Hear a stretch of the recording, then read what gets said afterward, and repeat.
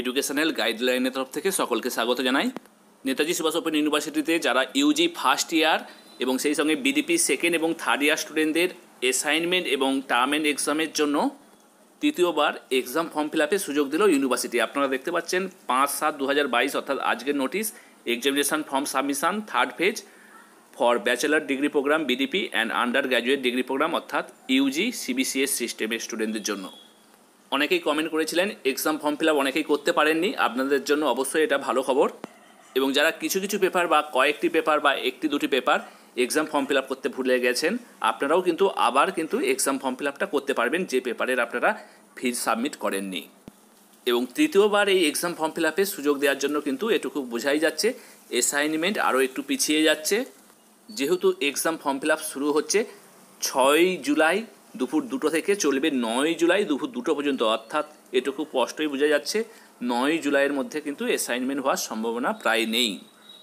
অর্থাৎ দেখতে গেলে ইউজি এবং বিডিপি স্টুডেন্টদের অ্যাসাইনমেন্ট সাবমিশন প্রক্রিয়া জুলাই মাসের সেকেন্ড বা থার্ড উইকের দিকে চলে যাওয়ার সম্ভাবনাই রয়েছে। অবশ্যই যখন অ্যাসাইনমেন্ট সাবমিশনের গাইডলাইন বা ডিটেলস শিডিউল প্রকাশ করবে ইউনিভার্সিটি, অবশ্যই আপনাদের ভিডিও মাধ্যমে শেয়ার করব। অবশ্যই সেই ভিডিও পাওয়ার জন্য চ্যানেলটি সাবস্ক্রাইব করে পাশে বেল আইকনে হাত দিয়ে রাখবেন। এবার আসি নোটিশে BDP online term and examination theory and practical এবং সেই সঙ্গে অ্যাডভান্স প্র্যাকটিক্যাল এক্সামিনেশান এবং যারা আন্ডার গ্র্যাজুয়েট ডিগ্রি প্রোগ্রাম অর্থাৎ সিবিসিএস সিস্টেমে অর্থাৎ ইউজি কোর্সে অ্যাডমিশন হয়েছেন ফার্স্ট ইয়ার আপনাদেরও online term and examination theory and practical এই পরীক্ষার জন্য এক্সাম ফর্ম ফিল আপ আবার ওপেন হচ্ছে ছয় জুলাই দুপুর দুটো থেকে চলবে নয় জুলাই দুপুর দুটো পর্যন্ত। এবং সেই সঙ্গে exam form fill up submit করার, অর্থাৎ ফিজ দেওয়ার শেষ তারিখ হচ্ছে ছয় জুলাই দুপুর দুটো থেকে নয় জুলাই দুপুর দুটোর মধ্যে। ডেবিট কার্ড নেট ব্যাঙ্কিংয়ের মাধ্যমেও আপনারা এই ফিজ সাবমিট করতে পারবেন। এবং যারা পূর্বেই সাবমিট করেছিলেন এক্সাম ফর্ম ফিল আপ এবং কিছু কিছু পেপারও হয়তো আপনারা সাবমিট করতে ভুলে গেছেন, খেয়াল করেননি, সেটা একটা পেপারও হতে পারে, দুটো বা তারও বেশি। আপনারা কিন্তু একই রকম পদ্ধতিতে গিয়ে আবার যে পেপারগুলো আপনারা exam form fill up submit করেননি বা এক্সাম ফিজ দেননি, সেই পেপারগুলো আবার সাবমিট করতে পারবেন বা পেমেন্ট করতে পারবেন।